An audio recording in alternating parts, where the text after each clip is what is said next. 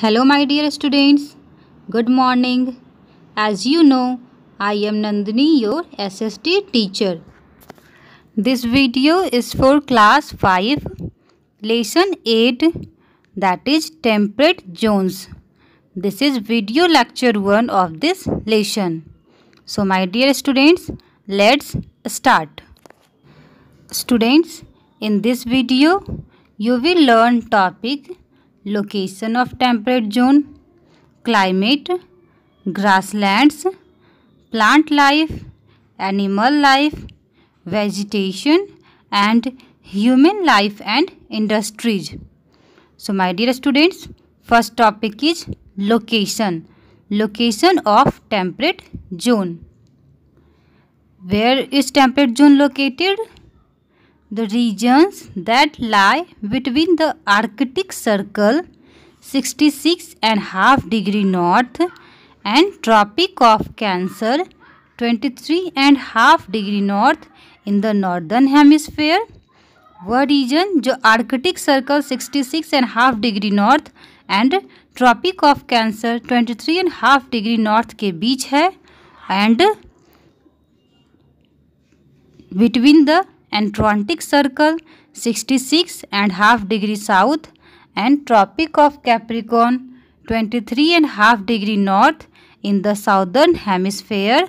These are called temperate zone. Here it is temperate zone. In the northern hemisphere, it is located between Arctic Circle and Tropic of Cancer. And in the southern hemisphere, it is located between Tropic of Capricorn and Antarctic Circle next is climate winters in these regions are very cold and summers are very hot winter में बहुत ज़्यादा ठंड पड़ती है और summer में बहुत ज़्यादा हॉट होता है. And there is occasionally rainfall in winters students the climate is not suitable for growth of trees यहाँ का जो क्लाइमेट है टेम्परेट जोन का, वो ट्रीज़ को ग्रोथ करने के लिए सुटेबल नहीं है। Grasses grow quickly during the spring season and change to hay in autumn in temperate zone grasses grow very quickly. So, most grasslands are located in the temperate zone. Temperate zone में grasses quickly grown होता है, जिसके कारण बहुत सारे grass land जो हैं वो टेम्परेट जोन में लोकेटेड हैं। A grassland is a grassy windy and partially dry student almost one fourth of the earth land area is grassland and in many areas grasslands separate forest areas from deserts. There are few trees and shrubs in the grassland. Temperate grasslands lie in the temperate zone and are called different name in different countries such as in North America temperate grassland is known as prairies in North America temperate grassland is known as prairies and in South America it is pampas. In South America it is pampas.